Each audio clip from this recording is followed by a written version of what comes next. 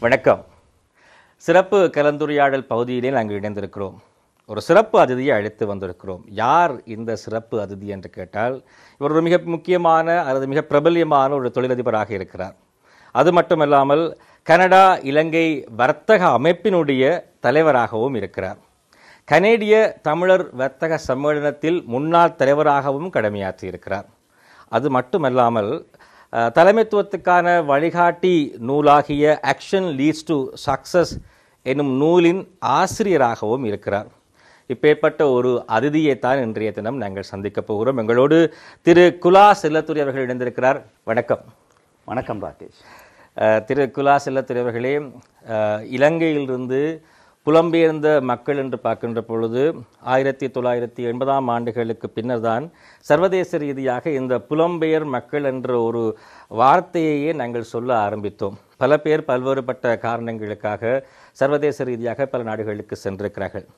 முன்ன பின்ன தெரியாத ஒரு நாடு பழக்கமில்லாத ஒரு நாடு பழக்கமில்லாத ஒரு கலாச்சாரம் சமூகம் அப்பேற்பட்ட ஒரு நாட்டுக்கு சென்று உங்களே முதலாவதாகவே நிலைநிறுத்தி நிலை நாட்டி ஒரு மிகப்பெரிய ஒரு தொழிலதிபராக வந்து பல பேருக்கு வேலை கொடுத்து பல பேரை வழிகாட்டுகின்ற ஒரு செயற்பாடை செய்கின்றீர்கள் நீங்கள் கனடாவில் இருந்து கொண்டு. எப்படி இந்த பயணம் ஆரம்பித்தது? எண்பது ஏழிலே நீங்கள் சொன்னது போன்று எமது போராட்டத்தின் ஆரம்ப காலகட்டம். நாங்கள் கல்லூரிகளிலே உயர்தர பரீட்சையை நோக்கி படித்து கொண்டிருந்த காலகட்டத்திலே எமது பெற்றோர் எம்முடைய வாழ்க்கை பற்றி அதிக கரிசனை கொண்டு எங்களை ஏதோ ஒரு வகையில் இந்த நாட்டிலிருந்து வெளியே அனுப்ப வேண்டும். அந்த அந்த காலகட்டத்திலே போராட்டம் என்பது ஒரு ஆரம்ப கட்டம். ஸோ அவைகளுக்கு அது போராட்டத்தின் வளர்ச்சியோ அல்லது போராட்டத்தின் தேவைகளை புரியாத ஆனால் எங்களோட பிள்ளைகள் பாதுகாக்கப்பட வேண்டும் என்ற மன சிந்தனையோடு எங்களை எங்காவது போங்க என்று நான் ஆரம்பத்திலே சிங்கப்பூருக்கு அனுப்பி வைக்கப்பட்டேன். எத்தனை வயதிலே? எனக்கு அப்பொழுது நான் நினைக்கிறேன் எண்பத்தி ஓராம் ஆண்டு எனக்கு சரியாக இருபது வயசு. இருபது வயசிலே உயர்தர கல்வியை முடித்து ஒரு வருடத்துக்கு பின்னர் நம்புகிறேன். இருபது வயதிலே சிங்கப்பூருக்கு அங்கே ஒரு வேலை செய்து கொண்டு படிப்பதற்காக செல்கின்றேன். அங்கிருந்து வேலை செய்து படித்து கொண்டிருக்கும் பொழுது எண்பத்தி மூன்றாம் ஆண்டிலே மிகப்பெரிய இனக்கலவரம் இங்கே வடிக்கின்றது. அந்த இனக்கலவரத்தை தொடர்ந்து இலங்கை வர வேண்டாம் என்கின்ற செய்தியோடு என்னுடைய பெற்றோர் எனக்கு காகிதம் அனுப்புகிறார்கள். இந்த வராமல் நீ எங்கேயாவது போய் சேர் இலங்கை வர வேண்டாம் என்று. அந்த வகையிலே நான் கனவேர் ஆரம்பத்து கனடா எங்களை வரவேற்கின்ற ஒரு நாடாக இருந்தது.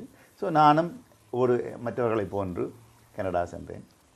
அந்த காலகட்டத்திலே கனடா செல்லும் பொழுது எங்களுக்கு கனடாவின் காலநிலை தெரியாது.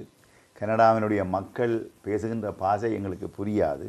ஆங்கிலம் மட்டுமில்லை அவர்கள் பேசுகின்ற அந்த ஆங்கில உச்சரிப்பு. அவர்கள் நாங்கள் ஆங்கிலத்தை ஓரளவுக்கு இங்கே கல்லூரிகளில் படித்திருக்கிறோம். சிங்கப்பூரில் வேலை செய்யும் பொழுது அவருடைய சீன மக்கள் எங்களோட ஆங்கில மொழியிலே பேசுகின்ற அந்த ஆங்கிலத்தை புரிந்து வைத்திருக்கிறோம். ஆனால் கனடிய மெயின் ஸ்ட்ரீம் அதாவது பெரும்பான்மை மக்கள் பேசுகின்ற அந்த ஆங்கிலம் எங்களுக்கு உண்மையாக புரியவில்லை. இருந்தும் எதுவும் இழப்பதற்கு எங்களிடம் இல்லை என்ற அந்த நிலையோடு அந்த சென்றோம். அதொன்று தான் எங்கள்கிட்ட இருந்தது. ஒரே ஒரு தகுதி எங்களிடம் இருந்தது. எனக்கு இழப்பதற்கு எதுவுமே இல்லை. இருபது முப்பது டாலர்கள் நான் நினைக்கிறேன் எண்பது டாலர் என்னுடைய பாக்கெட்டில் இருந்தது அந்த காசை தவிர வேறு எதுவும் இழப்பதற்கு இல்லை. என்ற நிலையிலே அங்கே சென்றதால் என் மனதிலே ஒரு வைராக்கியம் உருவானது. நான் இந்த நாட்டிலே ஒரு மாற்றத்தை எனக்கு உருவாக்க வேண்டும். இந்த நாட்டிலே நான் எவ்வளவு நான் வாழ்க்கையில் எதிர்பார்த்தேனோ இந்த மாதிரி ஒரு பிஸ்னஸ் மேனாக வர வேணும் என்று கூட நான் எதிர்பார்த்தேன் ஆனால் ஒரு வசதியான வாழ்க்கையை அமைத்து கொள்ள வேண்டும். இவ்வளவு கஷ்டப்பட வேண்டி இருக்கிறதே என் பெற்றோரை இழந்து என் உறவினர்களை இழந்து என் சகோதரர்களை இழந்து தனிமையாக ஒரு வீட்டிலே ஒரு பேஸ்மெண்ட்டிலே ஒரு நாலஞ்சு இளைஞர்களோடு ஒன்றாக சமைத்து சாப்பிட்ற நிலைமை மிகவும் கடினமான வாழ்க்கை. சில நேரம் அழு அழுகையை தவிர வேறு ஒன்றுமே இல்லாத நிலைமை வீட்டை வந்தால் சாப்பாடே இருக்காது. நீ சமைச்சு சாப்பிட வேணும். அப்படி வாழாத நாங்கள் எல்லோரும் பெற்றோர்களையா அம்மாவனுடைய சாப்பாட்டிலே உங்களை போன்று நீங்கள் இன்றைக்கு எவ்வளோ சந்தோஷமாக வாழ்கிறீர்களோ அப்படித்தான் இளைஞர்களாக நாங்களும் வாழ்ந்தோம். ஆனால் அது எங்களுக்கு ஒரு ஒரு ஒரு நோ குறி குறிக்கோளை அல்லது நோக்கை உருவாக்கியது. நான் மாற வேண்டும். நான் ஒரு வழியிலே என்னுடைய குடும்பத்தை பா பாரமெடுக்க வேண்டும். எனக்கு நடந்த இன்னொரு து- துக்க துக்கமான துக்கமான செய்தி எண்பத்தி ஐந்தாம் ஆண்டு நான் அங்கே சென்றேன். சென்று கொஞ்ச நாளிலே என்னுடைய த தந்தையார் இறந்து விட்டார் இலங்கையில். இலங்கையிலே அப்பொழுது நான் நினைக்கிறேன் ஆபரேஷன் லிபரேஷன் என்ற ஒரு ஒரு போ போர் உக்கிரமான போர் நடந்து கொண்டிருந்தது. வைத்தியசாலைக்கு கூட கொண்டு செல்ல முடியாத ஒரு நிலை. காரணம் அங்கே வாகனங்கள் இல்லை பெட்ரோல் இல்லை. வைத்தியசாலைகள் மூடப்பட்டிருந்தன. எனவே அவர் வைத்தியசாலைக்கு கூட செல்லாத வகையிலே இறந்து போனார். அதையெல்லாம் என் மனதிலே பெரிய தாக்கத்தை உருவாக்கியது. ஒரு மகனாக ஒரு தந்தைக்கு நான் செய்ய வேண்டிய ஒரு வாழ்க்கையிலே ஒரு ஒவ்வொரு குழந்தைகளும் தங்களுடைய பெற்றோருக்கு செய்ய வேண்டிய இறுதி கிரியைகளை கூட எங்களால் செய்ய முடியவில்லை. அது என்னுடைய மனதிலே தொடர்ந்து வைராக்கியத்தை உருவாக்கியது. இது எல்லாத்துக்கும் காரணம் நான் அதாவது ஒரு ஒரு ஒரு சனியான மனிதனாக வந்திருந்தால் இவ்வளத்தையும் செய்திருக்கலாம். இளம் வ- துடிப்பான வயசு. இந்த நிலைமைக்கு நான் வந்தது என்னிடம் ஒரு வசதி இல்லாத நிலைமை அல்லது நான் ஒன்றும் செய்ய இல்லாத நிலைமையில் இருக்கிறேனே கையாலாக தன்மையோடு இருக்கிறேன் என்ற நிலையில தான் அந்த ஓர்மத்தை எனக்கு உருவாக்கி கொண்டு இங்கே மாற்றத்தை நான் எனக்கு உருவாக்க வேண்டும் என்று நான் ஒவ்வொரு விதமான சிறிய தொழில்களையும் ஆரம்பிக்கும் பொழுது இந்த வேலையை இதோடு செய்ய மாட்டேன் என் வாழ்வில். உதாரணத்துக்கு நான் ஒரு ஒரு ஒரு ரெஸ்டாரண்ட்லேயே அதாவது ஒரு சிற்று உணவுச்சாலையிலே டிஷ் வாஷராக அங்குள்ள உணவு பாத்திரங்களை கழுவுவனாகத்தான் ஆரம்பித்தேன் ஒரு வேலையை.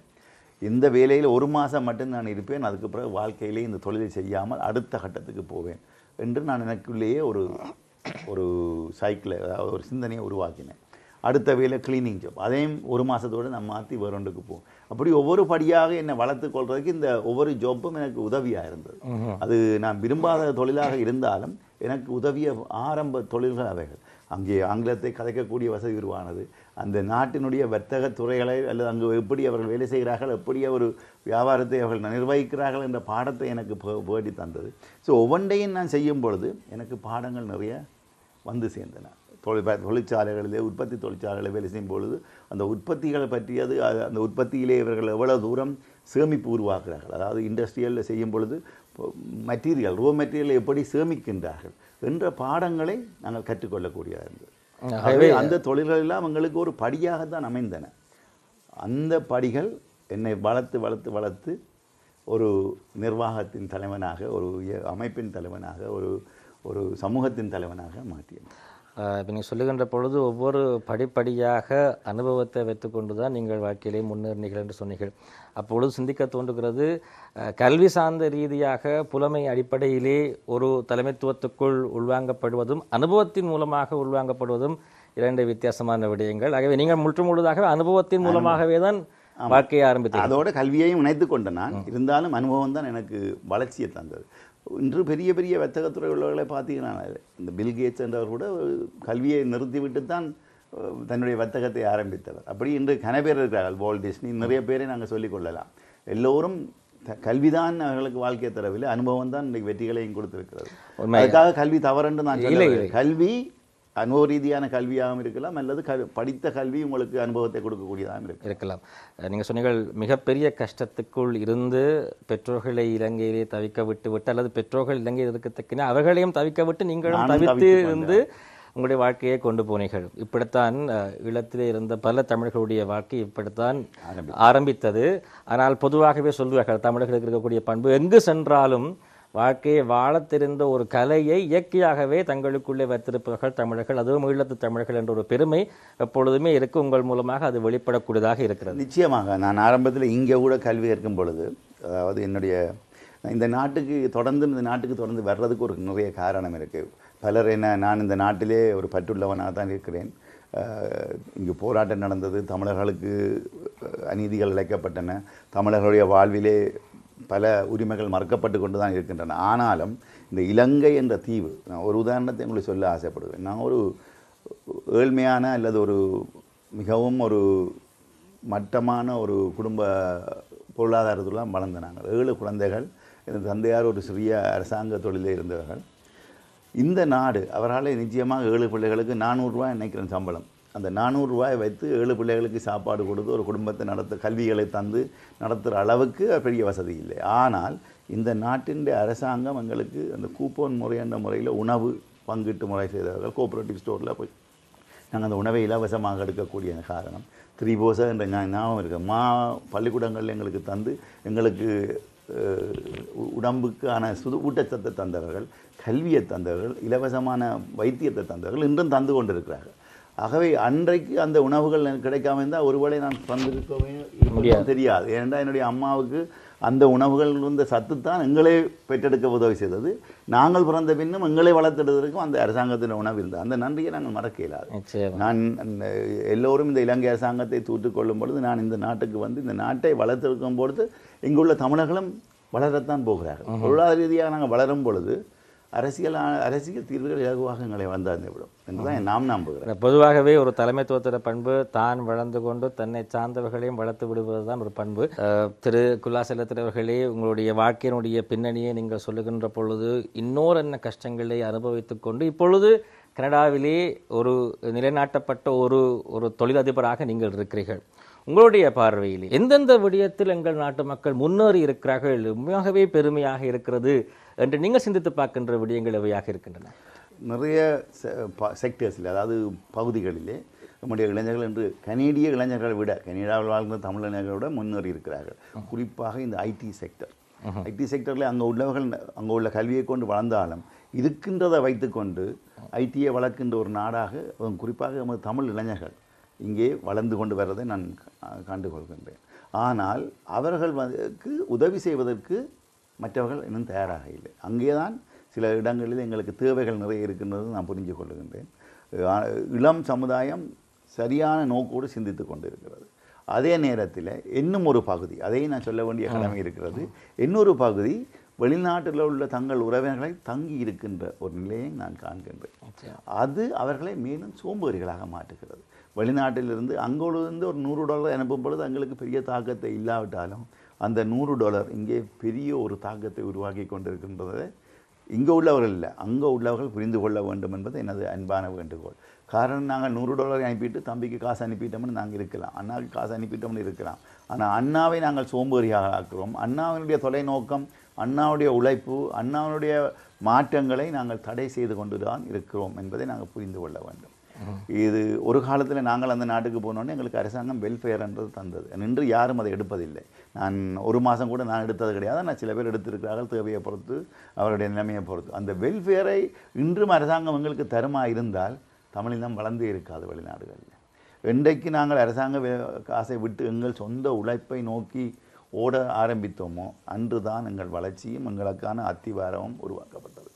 அந்த அத்திவாரத்தை இங்கே நாங்கள் அழித்து கொண்டிருக்கிறோம் என்பது என்னுடைய தாழ்மையான கருத்து. தவறாக இருந்தால் மன்னித்துக் கொள்ளுங்க ஆனால் என்னுடைய தாழ்மையான கருத்து அதுதான். நீங்கள் சொல்லுகின்றது அனைத்துமே உண்மையாக இருக்கின்றது. அதே நேரத்திலே இன்னும் ஒரு மறுபக்குவம் இருக்கிறது. இங்கே பல பேரை நாங்கள் பார்த்துருக்கிறோம். இன்று கூட பல பேர் அம்மா அப்பா மகள் தங்களுடைய பிள்ளைகள் வெளிநாட்டில் இப்போ படிக்க வேண்டும் வாழ்க்கையை நன்றாக ஆரம்பிக்க வேண்டும் என்பதற்காக தன்னுடைய சொத்து சுகம் எல்லாவற்றையுமே விற்று பிள்ளைகளுக்கு அனுப்பியிருப்பார்கள்.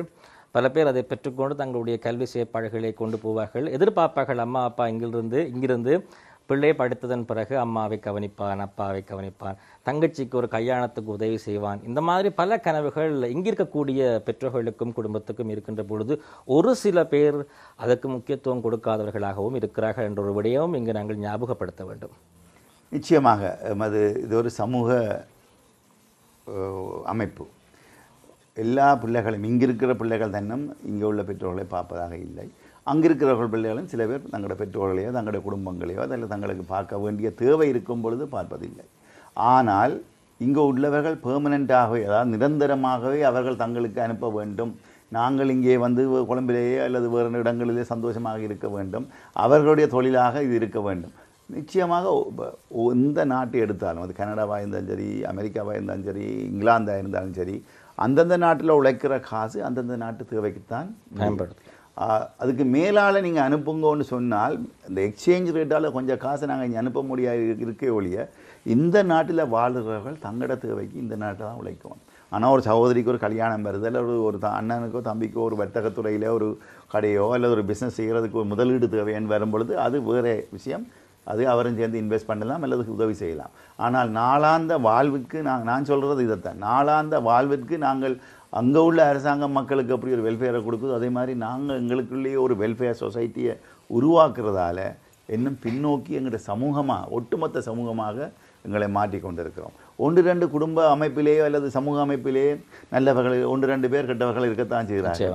ஒன்று ரெண்டு கிரிமினல்ஸ் அதாவது தவறுகளை குற்றவியல் குற்ற குற்றங்களை இழைத்து கொண்டிருக்கிற சில பேரை நாங்கள் பார்க்கக்கூடியதாக தான் இருக்கிறது அது சமூக அமைப்பு.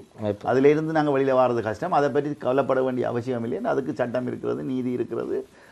போலீஸ் திணைக்களம் இருக்கிறது அவர்கள் பார்த்து கொள்வார்கள். ஆனால் எங்களுக்கு தேவை ஒரு ஒட்டுமொத்த சமூகமாக எங்களை எப்படி நாங்கள் வளர்த்தெடுக்க வேண்டும் அல்லது அடுத்த லெவலுக்கு அடுத்த கட்டத்துக்கு எப்படி மீ- அதை முன்னோக்கி மு- நகர்த்த வேண்டும் என்பதை தான் நாங்கள் ஒரு ஒரு அமைப்பாக ஒரு சமூகமாக ஒரு மக்கள் கு- குழுவாக நாங்கள் சிந்திக்க வேண்டும். அதையும் தாண்டி நாங்கள் சில வழிகளை பார்க்கின்ற பொழுது உங்களுடைய பார்வையில் கனடாவில் இருக்கக்கூடிய ஒரு வர்த்தக தலைவராக இருக்கிற என்ற அந்த பார்வையிலே பார்க்கின்ற பொழுது இங்கே இருக்கக்கூடிய தமிழ் மக்கள் எந்தெந்த விடயங்களில் இன்னும் முயற்சி எடுக்க வேண்டும் இன்னும் முன்னேற வேண்டும் என்று நீங்கள் சொல்லுவீர்கள்? ஒரு உதாரணத்தை சொல்லிக்கொண்டு சொல்ல இதுக்கு கருத்து சொல்ல ஆசைப்படுகிறேன். இங்கே நான் அண்மையில் ஒரு யாழ்ப்பாணத்தில் ஒரு வீட்டுக்கு போயிருந்தேன். அந்த வீட்டில் உள்ள பிள்ளை பக்கத்து வீட்டில் பிள்ளையோடு பள்ளிக்கூடம் குடி ஒன்றாக செல்வார்கள். காலையில் எழும்பின உடனே செல்ஃபோனில் இந்த பிள்ளையை அந்த பிள்ளைக்கு கால் பண்ணுறான் நான் வெளி வெளியில் வரேன் நீயும் வா.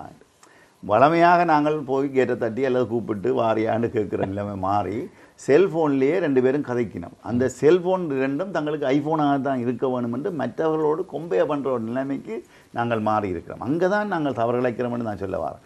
வெளிநாட்டில் உள்ளவர்கள் இன்னும் பழைய செல்ஃபோனை வைத்துக்கொண்டு தங்களுடைய சகோதரர்கள் கேட்கிறார்களே தங்களுடைய பெற்றோர்கள் கேட்கிறார்களே என்று புதிய செல்ஃபோனை கடன் வாங்கி அனுப்புகின்ற நிலைமையை நான் நிறைய பார்க்கின்றேன். அதிலிருந்து எங்கள் மக்கள் விடுபட வேண்டும். இந்த மாதிரி மற்றவர்களுக்காக நாங்கள் வாழ்கிற தன்மையை விட்டு எங்களுக்காக எங்களுடைய எதிர்காலத்துக்காக அல்லது எங்களுடைய குழந்தைகளின் வளர்ச்சிக்காக நாங்கள் மாறணும் மாறுவோமாக இருந்தால் எங்களுடைய சமூகம் ஒரு நிரந்தர பொருளாதார கட்டமைப்போடு வாழக்கூடிய சமூகமாக மாறும். இன்று நாங்கள் ஒரு பகட்டான அல்லது என்னிடம் ஐ ஐஃபோன் தேர்ட்டின் இருக்கிறது உன்னிடம் ஐஃபோன் டென் தான் இருக்கிறது என்று ஒருவரை ஒருவர் இழிவாக செ- பார்க்கின்ற ஒரு தன்மையை நான் இங்கே பார்க்குறேன். உண்மை. இது எல்லாவற்றையும் தாண்டி சில வழியிலே பார்க்கின்ற பொழுது புலம்பெயர்ந்த மக்கள் தான் எங்களுடைய தமிழருடைய கலாச்சாரத்தையும் பண்பாட்டையும் விழுமியங்களையும் இன்னும் கட்டி காக்கிறார்கள் என்ற பெருமையையும் பல சந்தர்ப்பங்களிலே புலம்பெயர்ந்த தமிழர்கள் தட்டிச் செல்லுகிறார்கள்.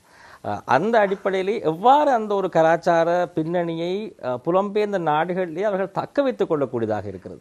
அது அதுக்கு ஒரு சி- சின்ன உதாரணம் தான். அது பெரிய விஷயம் இல்லை ஏனென்றால் நாங்கள் எண்பதாம் ஆண்டுகளிலே இங்கிருந்து போகும் பொழுது என்ன கலாச்சாரத்தை கொண்டு சென்றோமோ அதே கலாச்சாரத்தை கட்டி வை வைத்திருக்கிறோம். காரணம் எங்களுக்கு வெளியில் போய் சிந்திக்க நேரம் கிடைக்கவில்லை. போராட்டம் மக்கள் நாடு சகோதரர்கள் அவர்களை பார்க்க வேண்டும். ஆகவே நாங்கள் அதை உடைத்து கொண்டு ஒரு குறிப்பிட்ட கொஞ்சம் பேர் தான் வெளியில் போய் அங்குள்ள கலாச்சாரத்தோடு தங்களை இணைத்து அல்லது எங்களோட கலாச்சாரத்துக்கு ஒத்துப்போகாத கலாச்சாரங்களோடு இணைந்தவர்கள். ஆனால் எங்களுடைய அடுத்த ஜெனரேஷன் இந்த கலாச்சாரத்தை பேணி பாதுகாப்பார்கள் ஒன்று கேட்டால் நூறு வீதம் நூறு வீதம் பணி பார்க்க மாட்டார்கள். ஆனால் கல்யாண வீட்டுக்கு சாரி கட்டுவார்கள் டான்ஸுக்கு சாரி போடுவார்கள் கோயிலுக்கு போவார்கள் எல்லாம் செய்வார்கள். ஆனால் நாங்கள் எதிர்பார்க்கின்ற அந்த கட்டுக்கோப்பான கலாச்சாரத்தை அவர்கள் கொண்டு வருவார்கள் என்றால் எனக்கு ஒரு எனக்கு ஒரு மகள் இருக்கிறார். கொஞ்சம் கேள்விக்குறிதான் ஆனால் இங்குள்ளவர்கள் அந்த சமூக மாற்றங்கள் அதாவது சமூகம் தொடர்ந்து மாறிக்கொண்டு தான் இருக்குது. சமுதாய கட்டமைப்பிலே மாற்றங்கள் இருக்குது. விஞ்ஞானம் வளர வெளிநாடுகளுடைய இன்ஃப்ளூயன்ஸ் அதாவது அவர்கள் வெளிநாட்டின் வாழ்க்கையின் அங்கேருந்து வர்றவர்கள் போடுகின்ற உடுப்பை பார்க்கும் பொழுது ஏதோ நாங்களும் வெளிநாட்டிலாம் வாழ்கிறோம் என்ற அந்த சிந்தனையை இங்கே வேகமாக உருவாக்கி விட்டார்கள். ஆனால் அங்கே நாங்கள் அந்த கட்டுக்கோப்பாக எங்களை வளர்த்து வைத்து வைத்து எங்களுடைய வேலை வீடு குடும்பம் என்பதை உருவாக்கி வைத்திருந்ததால் அந்த சமூக கட்டுமாற்றம் உருவானது. அதே நேரத்தில் எங்களுடைய பிள்ளைகளுக்கு கலாச்சாரத்தை இழந்து விடுவார்களோ என்ற பயத்தோடு நடனம் நாட்டியம் சங்கீதம் போன்றவற்றை நாங்கள் அவர்களுக்கு உருவாக்கி கோயில்கள் உருவாக்கி அவர்களை அது அதில் இன்வால் உரு அதாவது உள்வாங்க வைத்ததால் தான் இன்றைக்கும் அந்த கட்டுப்பாடு இருக்கிறது. ஆனால் அது அடுத்தடுத்த சமூகம் அதை தொடர்ந்து கையாளுமா என்பது எனக்கு ஒரு சிறிய கேள்விக்குறியாக தான் இருக்கிறது. புலம்பெயர்ந்த நாடுகள் அடுத்த சந்ததிக்கு போ அடுத்த சந்ததி வருகின்ற பொழுது இதை பின்பற்றுவதிலே கொஞ்சம் பண்ணுவார்களா இல்லையான்னு தெரியாமல் இருக்கிறதுன்னு சொன்னீர்கள். எங்கள் நாட்டில் இருப்பவர்கள் பின்பற்றுவார்களா? உங்களோட நாட்டில் நான் இந்த நாட்டு வானொலி உங்களோட சக்தி எஃப்எம்ஐ அல்லது வேறு வேறு எஃப்எம்மில் நான் காலையில் கேட்குறேன் நாங்கள் அது இங்கே மாலை நல்ல பாட்டுகள் போடுவேன். அப்போ கேட்குறேன் நான். அநேகமான நேயர்கள் கால் பண்ணி என்னுடைய கேர்ள் ஃப்ரெண்டுக்கு இந்த பாட்டை போடுங்க என்னுடைய பாய் ஃப்ரெண்டுக்கு இந்த பாட்டை போடுங்க என்று சொல்கிறார்கள். அது நான் தவறென்று சொல்லவில்லை. ஆனால் நாங்கள் இந்த நாட்டில் இருந்த பொழுது அது கிடையவே கிடையாது. அங்கே உள்ள பிள்ளைகள் இன்னும் தங்களுடைய பாய் ஃப்ரெண்ட் கேர்ள் ஃப்ரெண்டை பெற்றோருக்கு சரியான முறையில் சொல்கிறதுக்கு பயப்படுகிறார்கள்.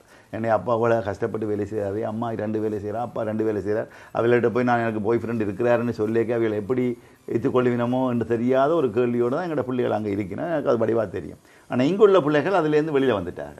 ஆஹ் என்னுடைய பாய் ஃப்ரெண்ட் நேராகவே காதலனுக்காக இந்த பாட்டை தாருங்கள்னு கேட்குற ஒரு இதை நீங்களும் அதை சந்தோஷமாக வாசிக்கிறதை நான் பார்க்குறேன். அந்த அளவுக்கு மாட்டம் இங்கே இருக்கிறது. அங்கே இன்னும் அந்த மாட்டம் வரையில் சின்ன உதாரணம் தான். இப்படி கணக்கே இருக்கிறது இது ஒரு ஒரு சின்ன ஒரு மாட்டம் வானொலியிலே என்னுடைய பேர் இன்னது நான் இன்னும் ஊரில் இருக்கிறேன். என்னுடைய பாய் ஃப்ரெண்டுக்காக இந்த பாட்டை தாருங்கள்னு தன்னை அறிமுகப்படுத்தி சொல்கின்ற தைரியம் இன்னும் எங்களுடைய குழந்தைகளுக்கு இல்லைன்னு தான் நான் சொல்லணும். அவர்கள் பாய் ஃப்ரெண்ட் வச்சிருக்க மாட்டார்கள்னு நான் சொல்ல வரவில்லை ஆனால் அதை வெளியிலே பொடி லாகவமாக பப்ளிக்காக சொல்கிறது இன்னும் ஆரம்பிக்கல அந்த நாள். சீக்ரெட் ஆஃப் சக்ஸஸ் ஒவ்வொருவருடைய வாழ்க்கையிலையுமே ஏதாவது ஒரு சக்தி இருக்கும். அவர்கள் வெற்றியாளர்களாக வருவதற்கு அல்லது வர தூண்டியதுக்கான ஏதேனும் ஒரு சக்தி இருக்கும். உங்களுடைய வாழ்க்கையிலே சீக்ரெட் ஆஃப் சக்ஸஸ் என்று சொன்னால் என்ன விடயத்தை நீங்கள் சொல்லுவீர்கள்? உங்களுடைய விடாமுயற்சியை சொல்லுவீர்களா? அல்லது நீங்கள் பட்ட கஷ்டங்கள் தான் சீக்ரெட் ஆஃப் சக்ஸஸாக இருக்கிறதா? எவ்வாறு நீங்கள் அதை முதலாவது என்னை வளர்த்ததுக்கு ஒரு காரணம் நான் ஆரம்பத்தில் சரியாக கஷ்டப்பட்டேன் வேலை எடுக்கிறதுக்கு. எங்கே போனாலும் எனக்கு எக்ஸ்பீரியன்ஸ் இருக்கா? இல்லை. இங்கிலீஷ் பேச வேண்டாம் இல்லை. அப்போ ஒரு நல்ல வேலையை என்ன எடுக்க முடியாது என்னால் எடுக்க முடியாமல் இருந்தது. அப்போ எனக்கு ஒரு ஆசை நான் பட்ட கஷ்டத்தை மற்றவன் படக்கூடாதுன்னு ஸோ முதலாவது இவ்வளவு தூரம் வேலையை ஒரு அதாவது எம்ப்ளாய்மெண்ட் எப்படி க்ரியேட் பண்ணலாம்? ஒவ்வொரு வருஷமும் ஒரு கொஞ்சம் பேருக்கு வேலை கொடுக்குற ஒரு ஒரு- ஒரு ஒரு ஆசை வந்தது எனக்கு. என்றால் நான் பட்ட கஷ்டத்தை என் மற்றவன் படவணும். அதுவும் குறிப்பாக எம்முடைய மக்கள் இங்கேருந்து வந்து புதுசாக வரவர்கள் சரியாக கஷ்டப்பட்டார்கள் வேலை எடுக்கிறது. அப்போ முதல் வேலை எம்ப்ளாய்மெண்ட்டை க்ரியேட் பண்ணுவோம். அப்போ சின்ன ஒரு கம்பெனியை போட்டு இவ்வளோ பேருக்கு உல வேலை உதவி செய்யலாமன்ற அந்த ஃபோக்கஸில் தான் நான் பிஸ்னஸை ஆரம்பிச்சினேன் ஆனால் ஒவ்வொரு தடவை ஒவ்வொரு முறையும் நான் ஒவ்வொரு தடவை ஹை பண்ணிக்க ரெண்டு பொறுப்பு எனக்கு வந்தது. ஒன்று அவருக்கு தொடர்ந்து சம்பளம் பே பண்ணணும். அப்போ கட்டாயம் கம்பெனியை நான் வளர்த்தே ஆகணுமெண்ட் இல்லாமல் வந்தது. ஸோ ஒவ்வொருதாக வளர்த்து வளர்த்து வளர்த்து வளர்த்து ஒரு நூற்றி இருபது எம்ப்ளாயிஸ் இன்றைக்கு வேலை செய்கிற அளவுக்கு வளர்ந்துருக்குது என்னுடைய ஒரு நிறுவனம். ஆகவே அதுக்கு என்னுடைய அந்த மற்றவனுக்கு நான் பட்ட கஷ்டம் மற்றவர்கள் படக்கூடாது என்று நான் பார்த்த அந்த ஒரு ஃபோ- ஒரு பார்வையும் காரணமாக இருக்கலாம். இரண்டாவது இந்த எல்லா தமிழனும் போல நானும் ஒரு ஒரு வெற்றியாளனாக ஒரு வித்தியாசமான பார்வை கொண்டவனாக வாழ வேண்டும் என்ற ஒரு மன வைராக்கியம் இருந்தது. அதோட என்னுடைய குடும்பம் எனக்கு பின்னால் அதாவது நாங்கள் எந்த துறை எடுத்தாலும் உங்களோட துறை சரி என்னுடைய துறை சரி நாங்கள் ஒன்றிலே கூட எங்களை நாங்கள் உள்வாங்கிக் கொள்ளும் பொழுது அவர்கள் என்னுடைய தேவைகளை சில இடம் கவனியாக விட்டிருப்போம் அஹ், உதாரணத்துக்கு என்னுடைய மகள் சீச ஆபரேஷன் செய்து பிறந்திருக்கும் பொழுது நான் ஏற்கனவே ஒரு அங்குள்ள கல்வி அமைச்சரோடு நடைபெறுகின்ற நிகழ்வுக்கு நான் வர வேண்டும் என்று சொல்லி நான் ஒத்துக்கொண்டேன். அவங்க மகள் பிறந்து மனைவி குழந்தையை தூக்க முடியாது ஆபரேஷன் செய்து சி செக்ஷன் படுத்திருக்கிறார். நான் அவருக்கு சொல்லி போட்டு இந்த மீட்டிங்கு போட்டு வாரன் என்று சொல்லி போட்டு போக வேண்டிய நிலைமை இன்றும் என்னுடைய மகளும் தாயும் சேர்ந்து என்னை கலாய்ப்பார்கள் என்று சொல்லலாம். அந்த நீ எங்களை விட்டுட்டு போன ஒரு மனுஷன் தானே அந்த விதத்தில் என்னுடைய மனைவியும் குழந்தையும் நிறைய தூரம் என்னை உற்சாகப்படுத்தினு தான் சொல்லணும். என்னை கஷ்டப்படுத்தின நான் அவர்களை கஷ்டப்படுத்தப்படுத்த இன்றைக்கும் என்னை எனக்கு ஆதரவு தந்து கொண்டிருக்கிற குடும்பமும் அதுக்கு ஒரு மிக முக்கியமான காரணம்னு சொல்லுவோம் ஆக்ஷன்ஸ் லீட்ஸ் டு சக்ஸஸ் என்ற ஒரு தலைமைத்துவ வழிகாட்டி புத்தகம் ஒன்றை புத்தகம் ஒன்றுக்கான ஆசிரியராக நீங்கள் இருக்கிறீர்கள் வெளியிட்டும் இருக்கிறீர்கள். ஒரு எழுத்தாசிரியராக உங்களை கொண்டு வருவதற்கு அந்த பரிணாமம் எவ்வாறு உருவாகியது? என்னுடைய சொந்த அனுபவத்தை மற்றவர்களோட பகிர்ந்து கொள்ளணும். அதாவது எங்களுடைய வெற்றியோ தோல்வியோ நாங்கள் சென்ற பாதையை மற்றவர்களோடு பகிர்கொள்வதாலே அவர்கள் அதிலிருந்து ஒரு பாடத்தை கற்றுக்கொள்வார்கள். அவர்களுடைய பாதையை இலகுவாக்கி கொள்வார்கள் என்ற ஒரு சிறிய நம்பிக்கை தான். நான் நடந்த பாதைகள் அல்லது நான் அங்கே விட்ட தவறுகள் அல்லது அங்கே வெற்றிக்கான அடி சந்தர்ப்பங்கள் இவற்றை அந்த புத்தகத்திலே என்னுடைய அனுபவங்களை நான் ஒரு புத்தகமாக வேண்டும் என்ற ஆசையிலே ஆக்கியிருக்கிறேன். இன்று அந்த புத்தகத்தின் மூலம் ஒரு கோச்சாக அதாவது பிஸ்னஸ் விரிவுரையாளனாக வர்த்தகத்துறையின் வளர்ச்சிக்கு ஆதரவு கொடுப்பவனாக என்னை மாற்றி அமைத்திருக்கிறேன். ஸோ இளம் வர்த்தகர்கள் குறிப்பாக இப்போ ரெண்டு மூணு பேரை நான் சொல்லலாம். ஆனால் ஒரு வர்த்தக இளம் இலங்கை இளைஞன் ஒருவன் இலங்கை தமிழ் இளைஞன் ஒருவன் அங்கே பிறந்து வளர்ந்த இல்லை இங்கே பிறந்து அங்கே வந்தார் இல்லை ஒருவர் ஒரு வங்கியிலே கணினி உத்தியோகத்தராக இருந்தவர். திடீரென அவரிடம் ஒரு சிந்தனை உருவாகிறது. இந்த கணினியை வைத்து நான் ஏன் கணினியின் ஊடாக ஒரு கணித பயிற்சி நிறுவனத்தை உருவாக்கக்கூடாது என்று என்னை வந்து நான் அந்த நேரம் வர்த்தக சம்மணத்தின் தலைவராக இருந்த பொழுது இருந்து கொஞ்சம் சில காலத்தின் முன்னர் எட்டு வருஷம் என்று சொல்லலாம். முதல் வந்து என்னை கேட்டார் இப்படி நாங்கள் பிஸ்னஸ் செய்ய போகிறேன்னு இப்படி ஒரு ஐடியா இருக்குது. இதுக்கு உங்கள்கிட்ட உதவி தர முடியுமான்னு நான் சொன்னேன் என்னால் முடிஞ்சதை உங்களுக்கு ஹெல்ப் பண்ணுறேன்ட்டு நாங்கள் ஹெல்ப் பண்ணி அவருடைய வர்த்தகத்துக்கு ஒன்று ரெண்டு பேர் இன்னும் அதாவது பொருளாதார ஆதரவு கொடுத்து இன்று அந்த நிறுவனம் ஒரு மிகப்பெரிய நிறுவனமாக ஒரு பில்லியன் டாலர்ஸ் வேல்யூவேஷன் உள்ள கம்பெனியாக மாறிக்கொண்டிருக்கிறது. இன்னும் அடுத்த வருடம் அது ஒரு ஸ்டாக் எக்ஸ்சேஞ்சில் லிஸ்ட் பண்ணக்கூடிய ஒரு நியூயார்க் இந்த ஸ்டாக் எக்ஸ்சேஞ்சில் லிஸ்ட் பண்ண போகிற ஒரு கம்பெனியாக வந்திருக்கிறது. அண்மையிலே அவர் என்னோட ஃபோன் அடிக்கடி என்னோட ஃபோன் பே தொலைபேசியிலே பேசிக்கொள்வார் வீட்டை வருவார். அப்போ அண்மையிலே அவர் தொலைபேசியில் பேசும்பொழுது நான் அவரை கேட்டேன். எப்பொழுது நான் என்னுடைய ரிட்டையர்மெண்ட் அதாவது என்னுடைய வயோதிப விடுமுறை என்னது ரிட்டையர்மெண்ட்றது தமிழில் என்ன சொல்கிறேன் ஓய்வு. ஓய்வு ஊதியத்துக்கு நான் ஓய்வு ஓய்வு நிலைக்கு செல்லலாம். அது நோக்கமில்லை அது ஒரு ஒரு ஒரு பகுதியாக கேட்டேன். நான் சொன்னார் விரைவிலே இந்த கம்பெனி உலகத்தின் மிகப்பெரிய ஆன்லைன் அதாவது கணினி ஊடாக கல்வி கற்கின்ற நிறுவனமாக வாழும் அப்பொழுது உங்களுக்கு நீங்கள் தாராளமாக உங்களுடைய ஓய்வை பெறுவதற்கு உங்களுக்கு வசதி இருக்கும்னு சொன்னேன். அது ஒரு ஒரு ஜோக்காக இருந்தாலும் அவருடைய சிந்தனை. உலகின் மிகப்பெரிய கணினி கல்வி நிறுவனமாக இந்த நிறுவனம் வரும். என்று நினைக்கின்ற ஒரு தமிழன் ஒவ்வொரு தமிழனும் அப்படி சிந்திப்பார்களாக இருந்தால் ஒவ்வொரு தமிழனும் அந்த நிறுவனத்தின் தலைவராக அந்த மிகப்பெரிய நிறுவனத்தின் அமைப்பாளராக உருவாகுவார் நிச்சயமாக ஒருவர் இன்னொருவருக்கு உதவி செய்கின்ற பொழுதுதான் தானும் வளர்ந்து தன்னை சார்ந்தவர்களையும் வளர்த்துக் கொள்ளக்கூடியதாக இருக்கும். பல பேர் இருக்கிறார்கள் இலங்கையிலே. புலம்பெயர்ந்த நாடுகள் என்று சொல்வதை தாண்டி வெளிநாடுகளுக்கு சென்று தங்களுடைய திறமைகளை வெளிப்படுத்தி சர்வதேச ரீதியாக தங்களுடைய நாட்டுக்கும் இனத்துக்கும் கௌரவத்தை ஏற்படுத்த வேண்டும் என்ற எண்ணப்பாங்கு பல பேருக்கு இருக்கிறது.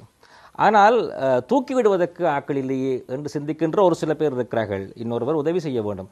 உறவு பாலம் ஒன்று இந்த சர்வதேச ரீதியாகவே புலம்பெயர்ந்த மக்களுக்கும் எங்கள் நாட்டு மக்களுக்கும் இடையிலே எவ்வாறு கொண்டு வரக்கூடியதாக இருக்கும்? அது ஒரு ஒரு ஒரு ஒரு கட்டமைப்பை உருவாக்கி கொண்டிருக்கிறோம்.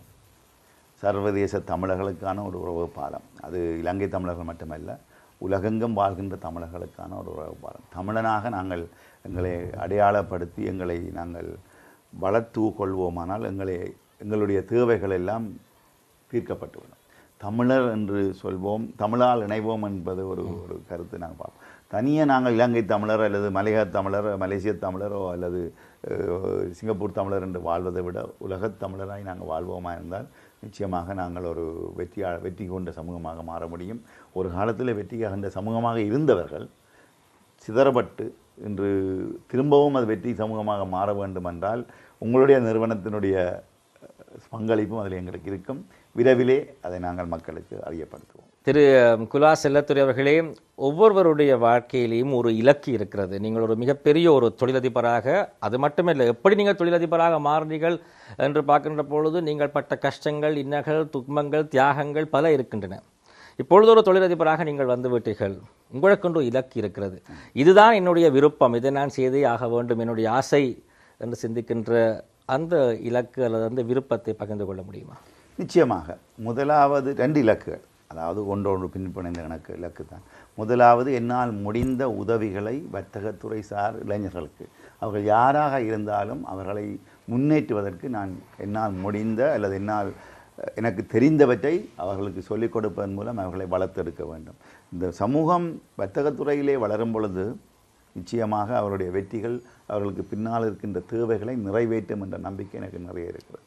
இரண்டாவது இந்த நாடு இலங்கை என்ற நாட்டை பற்றி நான் பேச வேண்டும். ஏனென்றால் இது வந்து எங்களுடைய அத்திவாரம். இங்கே தான் நாங்கள் தவழ்ந்து பிறந்து தவழ்ந்து விளையாடி எங்களை விருப்பமில்லாமல் பிரித்து சென்று இன்று நாங்கள் அந்த நாட்டோடு நின்றாலும் எங்களுடைய உணவு ந- உணவு பழக்கங்கள். அல்ல இந்த நாட்டுக்கு வந்த உடனே எங்களுக்குள்ள உற்சாகம். எல்லாம் த வித்தியாசமானது. காரணம் இன்னும் எங்களுடைய க- அன்பு அல்லது நாடு மீதுக்குள்ள பற்று. அது எவ்வளவுதான் நாங்கள் கஷ்டத்தை அனுபவித்திருந்தாலும் கூட எங்கள் இதயத்திலே இருக்கிறது. குறிப்பாக ஒரு சின்ன கருத்தை நான் சொல்ல ஆசைப்படுகிறேன் இன்று அரசியல் நிலைமை இலங்கையிலே எல்லாரும் பேசுகின்ற நிலைமை இங்கே மக்கள் கஷ்டப்படுகிறார்கள் உணவுக்கு வரிசையிலே நிற்கிறார்கள் பெட்ரோலுக்கு வரிசையில் நிற்கிறார்கள். எல்லாத்தையும் நாங்கள் அரசாங்கத்தின் மீது குத்தி சொல்லுகிறோம் அரசாங்கம் சரியன்றதுக்காக நான் இங்கே வரையில்லை ஆனால் நாங்கள் ஒன்றை புரிஞ்சு கொள்ளோம் இந்த நாட்டினுடைய பொருளாதார நிலையை வழிவாக்க பின்னோக்கி பார்த்தோம் என்றால் ரெண்டாயிரத்தி பத்தொன்பதாம் ஆண்டு இந்த நாட்டுக்கு வந்த சுற்றுலா பயணிகளால் வருமானம் ஏழு தசம் அஞ்சு பில்லியன் டாலர் அமெரிக்கன் டாலர்ஸ். அதே போன்று வெளிநாடு சென்று வேலை வாய்ப்புகள் மூலம் பணம் அனுப்புகின்றவர்கள் ரெண்டு தசம் அஞ்சு பில்லியன் டாலர்ஸ். இங்கிருந்து செய்யப்படுகின்ற ஏற்றுமதியின் வருமானம் ரெண்டு தசம் அஞ்சு பில்லியன். கிட்டத்தட்ட பன்னெண்டு பில்லியன் டாலர்ஸை இந்த நாடு ரெண்டு வருஷமாக இழந்து போய் நிற்கிறது ஒவ்வொரு வருஷம் வருமானத்திலிருந்து. இருநூற்றி ஐம்பது மில்லியன் மட்டும்தான் இந்த நாடு டூரிசத்தில் இந்த கடந்த வருடம் உழைச்சிருக்கிறது அப்படி பார்க்கும் பொழுது அது எந்த அரசாங்கமாக இருந்தாலும் இந்த நாட்டின் வருடாந்த நிதி பட்ஜெட்னு சொல்வார்கள். நிதியின் நிதி அமைப்பு கிட்டத்தட்ட? பாதுகாடு. பாதுகாடு வருமா தேவை ஏழரை பில்லியன் டாலர்ஸ் அந்த ஏழரை பில்லியன் இந்த வருமானம் மூலம்தான் சமநிலை சமர்சி செய்யப்பட்டு கொண்டிருந்தது. ஆனால் இன்று அந்த ஏழரை பில்லியன் இல்லை. இதை ஒரு அரசாங்கமோ அல்லது ஜனாதிபதியோ அல்லது அரசியல்வாதியோ ஈடு செய்ய முடியாது. மக்களான நாங்கள் தான் மீண்டும் ஈடு செய்ய வேண்டும். எப்படி செய்ய வேண்டும் என்றால் நாங்கள் எங்களுடைய இப்படியான ஒரு நிலைமை வரும் பொழுது எங்களுடைய இண்டஸ்ட்ரிகளை மாற்றணும் அதாவது எங்களுடைய தொழில் எதிர்பார்ப்புகளை அல்லது வருமானமான துறைகளை மென்மேலும் விருத்தி செய்ய மூன்று துறையை மட்டும் வைத்துக்கொண்டு அந்த மூன்று துறையும் இந்த பேண்டமிக்கிங் மூலம் அளிக்கப்பட்ட துறைகள் அல்லது குறைக்கப்பட்ட துறைகள். வருமானம் குறைக்கப்பட்ட துறைகளாக சுற்றுலாத்துறை வெளிநாடு சென்று உழைக்கின்ற துறை அல்லது இங்கிருந்து ஏற்றுமதி செய்கின்றது ஒன்றுமே நடக்காத மூன்று துறைகளையும் இந்த நாட்டுக்கு ஒரு பெரிய அடியை கொடுத்திருக்கிறது. பொருளாதார அடி என்று தான் சொல்லுவேன். ஆகவே என்னுடைய பார்வையிலே நீங்கள் கேட்டீங்கள் என்னுடைய நோக்கம் என்ன? இங்கே வந்து இந்த நாட்டுக்கு முடிந்த அளவுக்கு வெளிநாட்டின் நிதி வர்ற அளவுக்கு தான் செய்யணும். இலங்கை என்பது தனியாக சிங்கள மக்களோ அல்லது எங்களுக்கு பிடிக்காதவர்கள் வாழ்கின்ற நாடு இல்லை. என்னுடைய ரெண்டு சகோதரர்கள் இங்கே தான் இன்னும் மூன்று சகோதரர்கள் இன்னும் வாழ்ந்து கொண்டிருக்கிறார்கள். எங்களுக்கும் உள்ள இலங்கையில் வந்து எங் அவர்களும் இலங்கையில் தான் சம்பளம் எடுக்கிறார்கள். இலங்கையில் தான் இணைந்து வாழ்கிறார்கள். வெளிநாட்டில் உள்ள நாங்கள் என்ன செய்கிறோம்டா இலங்கையை பிரித்து பார்க்குறோம். வடக்கு கிழக்கு எங்களுடைய மற்றது எங்களுடைய ஆனால் இது ஒரு ஒரே கட்டமைப்புன்றதை தான் நாங்கள் புரிஞ்சு கொள்ளணும் அரசியல் கட்டமைப்பு பொருளாதார கட்டமைப்பு. அது எங்களுடைய கட்டமைப்புன்ற உருவாகும் நிலம் வருமோ எனக்கு தெரியாது. அப்படி வந்தாலும் அது வரைக்கும் நாங்கள் ஒரு கட்டமைப்புக்குள்ள தான் செய்ய வேண்டிய கடமை எங்களுக்கு இருக்கின்றதை வெளிநாட்டில் உள்ள பல தமிழர்கள் இன்னும் புரிந்து கொள்ளவில்லை. அவர்கள் எப்படி தாங்கள் போகும் பொழுது மனநிலையை வைத்திருந்தார்களோ அதே மனநிலையோடு தான் இன்றும் வாழ்கிறார்கள். இது என்னுடைய கருத்து. காவண்டி நான் அதுதான் சரி என்று சொல்ல வரையில் என்னுடைய கருத்து நாங்கள் அந்த மனநிலையிலேருந்து வெளியில் வரோம். அந்த மனநிலையிலேருந்து நாங்கள் வெளியில் வந்தோம்னா தான் இந்த நாட்டினுடைய கட்டமைப்பை உருவாக்கும் பொழுது இந்த நாடு பிரிந்தா என்ன பிரியாவிட்டா என்ன அது அடுத்த இங்குள்ள மக்கள் தீர்மானிக்க வேண்டிய விஷயம். வெளிநாட்டில் நான் வாழ்கின்ற நானோ அல்லது என்னை போன்ற மற்றவர்களோ தமிழர்களுக்கு சுவிஸில் உள்ள தீர்ப்பு தான் இங்கே வேணும் கனடாவில் உள்ள தீர்ப்பு தான் கொடுக்க வேணும் இல்லை ஜெர்மனியில் உள்ள தீர்ப்பு தான் கொடுக்கணும் ஒவ்வொருவரும் தங்களுக்கு தெரிந்ததை மட்டும் சொல்வதால் மட்டும் இந்த நாட்டில் உள்ள அரசியல் பிரச்சனைகள் தீர்க்கப்படாது. இந்த நாட்டில் உள்ள மக்களின் தேவை என்ன? அவர்கள் என்ன விதமான அரசியல் தீர்வை எதிர்பார்க்கிறார்கள்? இங்கே வாழ்வதற்கு அவருக்கு என்ன தேவை இருக்கிறது? அல்லது இந்த நாட்டினுடைய அரசியல் பொருளாதார சமூக கட்டமைப்பில் என்ன மாற்றங்களை அவர்கள் எதிர்பார்க்கிறார்கள் என்றதை நாங்கள் தீர்மானிக்காமல் அவர்களுக்கு உதவியாளர்களாக அதனுடைய வளர்ச்சிக்கு பின்னிருந்து உந்து தள்ளுவர்களாக இருப்போமானால் நாங்கள் இந்த நாட்டுக்கு நல்ல ஒரு உதவி செய்வோம். இங்கு வாழ்கின்ற அனைத்து மக்களையும் நிம்மதியாக சந்தோஷமாக பெருமையோடு உரிமையோடு வாழ்கின்ற ஒரு கட்டமைப்பை உருவாக்க முடியும் என்றது என்னுடைய நம்பிக்கை. உங்களுடைய இலக்குக்குள்ளேயே அந்த ஒரு பொது நோக்கமும் வந்துவிட்டது. உண்மையாகவே இறுதியாக கேட்க வேண்டும் என்று நினைத்திருந்தேன். புலம்பெயர்ந்த நாடுகளுக்கும் இருக்கக்கூடிய அங்க நாடுகளில் இருக்கக்கூடிய மக்களுக்கும் எங்கள் நாட்டில் இருக்கக்கூடிய மக்களுக்கும் இடையிலே அரசியல் ரீதியான ஒரு வித்தியாசமான பார்வை இருப்பதை நாங்கள் பார்க்கிறோம். சில வேளைகளில் இங்கிருப்பவர்கள் சொல்லுவார்கள் அங்கிருப்பவர்களுடைய கருத்துக்களை நாங்கள் கேட்கக்கூடாது. அங்கிருப்பவர்கள் சொல்லுவார்கள் இவர்கள் பாவம் என்று நினைத்துக்கொண்டு தங்களுடைய விருப்பத்தை இங்கே கொடுப்பார்கள் திணிக்கிறார்கள் என்று சிந்தித்துக் கொண்டிருக்கிறார்கள். இவ்வாறு பெரிய மாறுபட்ட ஒரு பிணக்கு புலம்பெயர்ந்த மக்களுக்கும் எங்கள் நாட்டு மக்களுக்கும் இடையிலே இருக்கிற அதற்கான ஒரு தெளிவையும் நீங்கள் இப்பொழுது கொடுத்திருந்தீர்கள். புரிந்துணர்வு. முக்கியமாக நாங்கள் அதை ஒரு புரிந்துணர்வை உருவாக்குவோம். இங்கு வாழ்கிறவர்கள் தான் தங்களுக்கான தீர்வை. இப்போ உதாரணத்துக்கு நான் கனடாவில் வாழ்கிறேன் கனடாவில் ஒரு அரசியல் பிரச்சனை இருக்குது. நீங்கள் சொல்லக்கூடாது நீங்கள் கனடாவில் இந்த மாதிரி தீர்வை கொண்டு வாருங்க அப்போ உங்களுக்கு நல்லா இருக்கும். அந்த தீர்வை நாங்கள் தான் அங்கே உள்ள அரசியல் வா வாக்குகளின் மூலமோ மாற்றங்களின் மூலமோ உருவாக்குவோம். அதே மாதிரி தான் இங்கே உள்ள மக்களும். ஆனால் நாங்கள் நினைக்கிறவன்டா நாங்கள் காசு அனுப்புகிறோம் நாங்கள் கவனிக்கிறோம். ஆகவே நாங்கள் சொல்கிறது தான் நீங்கள் கேட்க வேணுமென்ற ஒரு மென்டாலிட்டி அதாவது எங்களுடைய சிந்தனையை நாங்கள் வெளியெடுத்து எங்களால் என்ன செய்தால் இவைகள் தங்களுடைய தீர்வை உருவாக்கி கொள்வார்கள்? தங்களுக்கு தேவையான ஒரு கட்டமைப்பை தாங்கள் உருவாக்குவார்கள் என்பதை நாங்கள் சிந்திக்க வேணும். அந்த சிந்தனையிலிருந்து பின்னோக்கித்தான் நாங்கள் இருக்கிறோம். அதை அதை மாற்ற வேணும். அல்லது நாங்கள் வேறு விதமாக எல்லோரும் வந்து இங்கே இங்கே வரும்பொழுது நாங்கள் கொண்டு வர காசை செலவழிப்போம் போயிடுவோம். பிறகு அடுத்த ஒரு ரெண்டு வருஷத்துக்கு வரும் வரைக்கும் நாங்கள் இந்த நாடு சிந்திக்க மாட்டோம். அதை விடுத்து இந்த நாட்டின் பொருளாதாரத்தை கட்டியமைப்பதற்கு இந்த உள்ள மக்களின் பொருளாதாரம் கட்டியமைக்கப்பட்டால் தான் நாட்டின் பொருளாதாரம் பெறும். நாடு நல்லா வந்தால் தான் அரசியல் தீர்வையும் அவர்களும் தருவாங்க இல்லாட்டி அவர்களுக்கு வேறு பிரச்சனை இருக்குது இந்த அரசியலை போய் சிந்திக்கவே நேரம் இல்லை. இன்றைக்கு போய் ஒருத்தரும் அரசியல் தீர்வை கேட்டால் அவங்களுக்கு நேரமே இல்லை. ஏன்னா சாப்பாடு கொடுக்க வழியில் அப்புறம் அங்கே அரசியல் தீர்வு கொடுக்குறதுன்னு யோசிப்பாங்க. ஸோ லெட்ஸ் uh, எங்களை நாட்டை முதல் கட்டியமைப்போம். சரியான முறையில் சிந்திப்போமா இருந்தால் எவ்வளோ தூரம் இந்த நா நாட்டை கட்டியமைக்கிறோமோ அந்த தூரம் எங்களுக்கு நன்மை தான். இந்த வகையில் உண்மை. ஆயிரத்தி தொள்ளாயிரத்தி எண்பத்தி ஐந்தாம் ஆண்டு எங்கள் நாட்டில் இருக்கக்கூடிய கலவரம் பின்னணி கலவர பின்னணியிலே விருப்பம் இல்லாமல் இழப்பதற்கு ஒன்றும் இல்லாமல் சிங்கப்பூருக்கு சென்று சிங்கப்பூரிலிருந்து கனடாவுக்கு சென்று தானும் வளர்ந்து தன்னுடைய குடும்பத்தையும் கவனித்து தன்னை சார்ந்த சமூகம் இவ்வாறு கஷ்டப்படக்கூடாது தான் பட்டது போல் என்ற ஒரு சிந்தனையிலே கொஞ்சம் கொஞ்சமாக தன்னை வளர்த்தெடுத்து ஒரு மிகப்பெரிய ஒரு தொழிலதிபராக வந்து நூற்றி இருபது பேருக்கு மேல் வேலைவாய்ப்பை வேலை வாய்ப்பை கொடுத்து இலங்கையில் இருக்கக்கூடிய ஈழத்து மக்களுக்கும் இந்நாளான உதவி செய்ய வேண்டும் என்ற சிந்தனையோடு செயற்பட்டு கொண்டிருக்கின்ற திரு குலா செல்லத்துறை அவர்களுக்கு சக்தி டிவியின் சார்பாக மனமார்ந்த நன்றிகளை நாங்கள் தெரிவித்துக் கொள்கிறோம். நேரத்தை ஒதுக்கி எங்களோடு இந்த கலந்துரையாடலில் இணைந்து கொண்டமைக்காக சக்தி டிவியின் சார்பாக மனமார்ந்த நன்றிகளை தெரிவித்துக் கொள்கிறோம். நன்றி. நன்றி. எனக்கு இந்த சந்தர்ப்ப சந்தர்ப்பத்தை தந்தது மட்டுமல்ல என்னுடைய இந்த கருத்தை இங்குள்ள மக்களோடும் அங்குள்ள மக்களோடும் பகிர்ந்து கொள்வதற்கு ஒரு பாலமாக இருந்ததுக்கு மிக மனமார்ந்த நன்றிகள். மீண்டும் ஒரு முறை சந்திப்போம். இந்த அளவோடு இந்த சிறப்பு கலந்துரையாடல் பகுதியை நிறைவு செய்து கொண்டு மீண்டும் இன்னும் ஒரு முறை உங்களை சந்திக்கும் வரை உங்களிடமிருந்து விடைபெற்றுக் கொள்ளும் நான் உங்கள் அன்பின் ராகேஷ் சர்மா. நன்றி வணக்கம்.